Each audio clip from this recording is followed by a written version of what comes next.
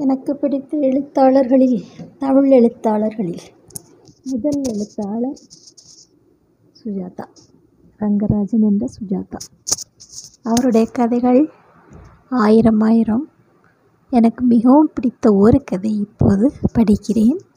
அப்பா அன்புள்ள அப்பா.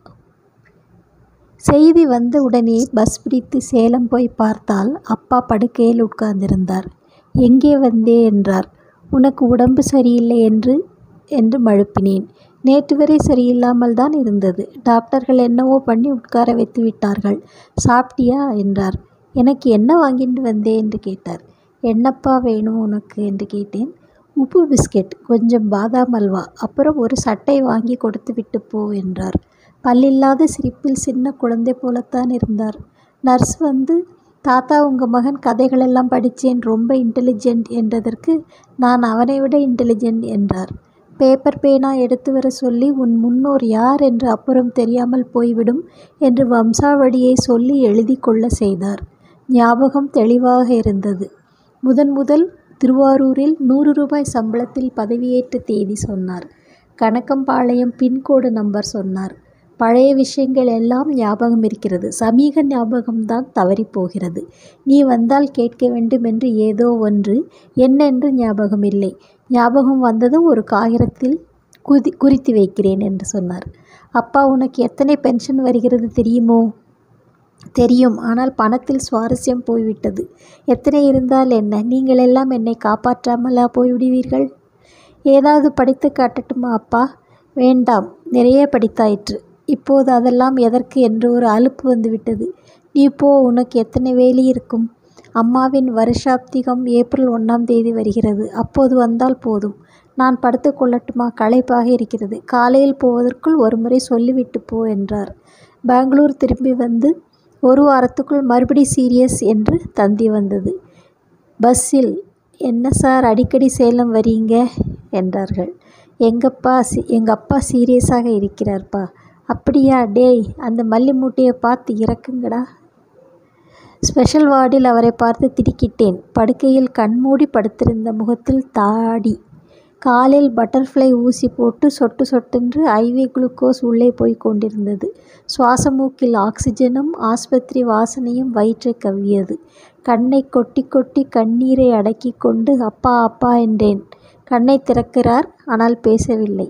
நான் தான் வந்திருக்கிறேன் என்று கையை பற்றுகிறேன்.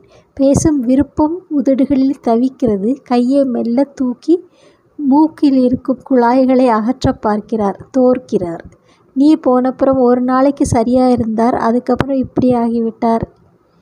படுக்கையில் பூஞ்சியாக நெற்றியை சுருக்கி கொண்டிருக்கும் அப்பாவை பார்க்கிறேன். இவரா ஆயிரம் மைல் தனியாக கார் ஓட்டி கொண்டு சென்றவர். இவரா மின் வாரியத்தை தன் டிசிப்ளினால் கலக்கியவர். நல்ல ஆஃபீஸர் தான். ஆனால் கொஞ்சம் முன் முன்கோபிங்க.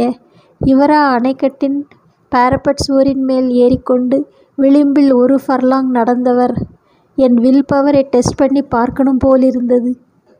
இன்ஜினியரிங் படிப்பையும் இளம் மனைவியையும் விட்டுவிட்டு காங்கிரஸில் சேருகிறேன் என்று காணாமல் போனவர் இவரா. I was crazy at the time male nurse வந்து அவரை உருட்டி முதுகெல்லாம் யுடிகொலோனும் பேபி பவுடரும் போடுகிறார். பெட்சோர் வந்துடும் பாருங்க.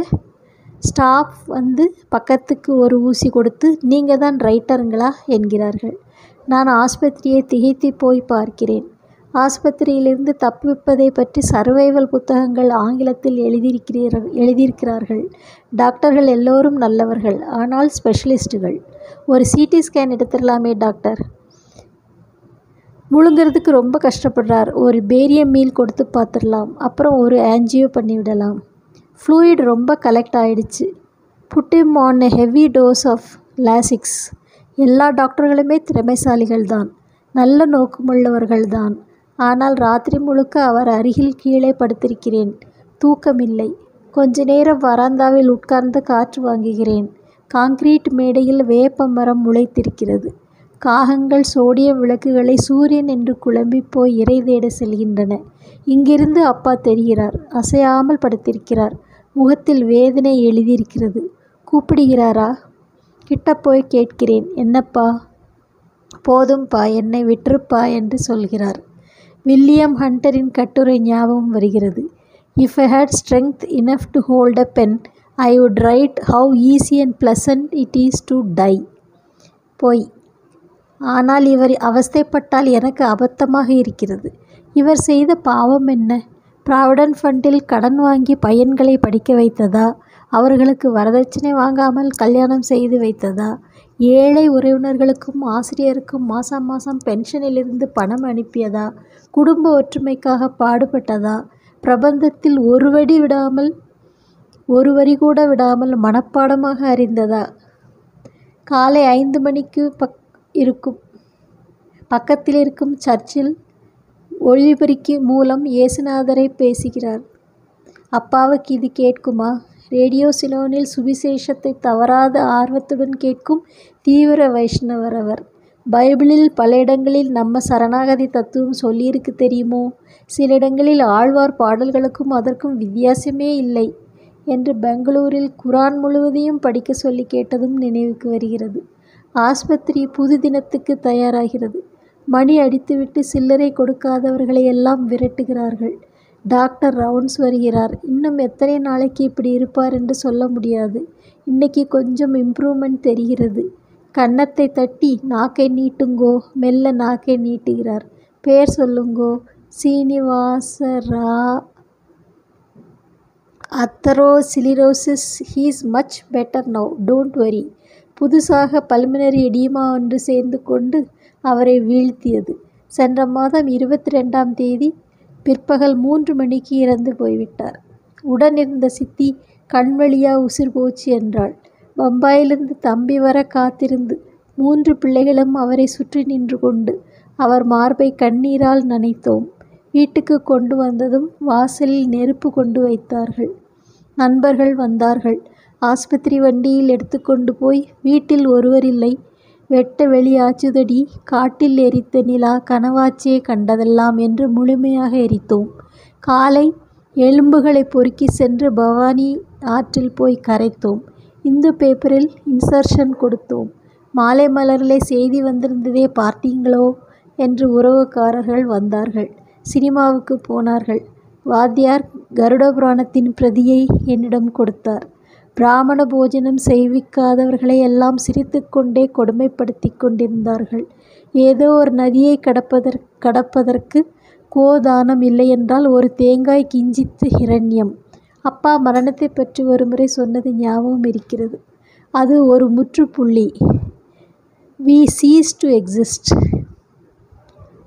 Epicurus சொன்னதை மறுபடி படி என்றார். Death is nothing to us since so long as we exist death is not with us. But when death comes we do not exist. ஒன்பதாம் நாள் பத்தாம் நாள் பதினோராம் நாள் பிரேதத்தின் தாகமும் தாபமும் தீருவதற்கு அதன் ரெப்ரசன்டேட்டிவாக வந்த ஒத்தன் என்னை பார்த்து சிரித்து நீங்கள் எழுதின ரத்தத்தின் நிறம் சிவப்பு குங்குமத்தில் நன்னா இருக்கு சார். அடுத்த தடவை ஒரு சோஷியல் தீமாக எடுத்துக்கொண்டு எழுதுங்கள் என்றான். சேலம் கடைத்தெருவில் பத்தாறு வேஷ்டிகளுக்கும் செம்புகளுக்கும் அலைந்தோம். ஸ்ரீரங்கத்திலிருந்து பிரபந்த கோஷ்டி வந்து எங்கள் தலையில் பரிவட்டம் கட்டி நாலாயிரமும் ராமானுஜ அந்தாதியும் சரம ஸ்லோகமும் சொல்லிவிட்டு எனக்கு இனி வருத்தமில்லை. ரெண்டு மணி பஸ் பிடித்து போனார்கள். அவ்வளோதான்ப்பா பிள்ளைகள் எல்லாம் சேர்ந்துண்டு. அவரை பரமபதத்தில் ஆசாரியன் திருவிடி சேர்த்துட்டேள். இனி அந்த ஆத்மாவுக்கு ஒரு குறையும் இல்லை. மாசிய சோதம்பத்தை மட்டும் ஒழுங்காக பண்ணிடுங்கோ. சுபஸ்வீகாரம். எல்லோரும் பந்தி பந்தியாக சாப்பிடுகிறோம். எட்டனா தட்சணைக்காக வாசல் திண்ணையில் ஒன்பது பேர் காலையிலிருந்து காத்திருக்கிறார்கள். கேஷுவாலிட்டியில் எனக்கு ட்ரங்க் டெலிஃபோன் வருகிறது. தொடர்கதைக்கு டைட்டில் கேட்டு பெங்களூர் திரும்பி வருவதற்கு முன்னால் அப்பாவின் அந்த கடைசி குறிப்பை பார்க்கிறேன். Ask Rangarajan about bionics.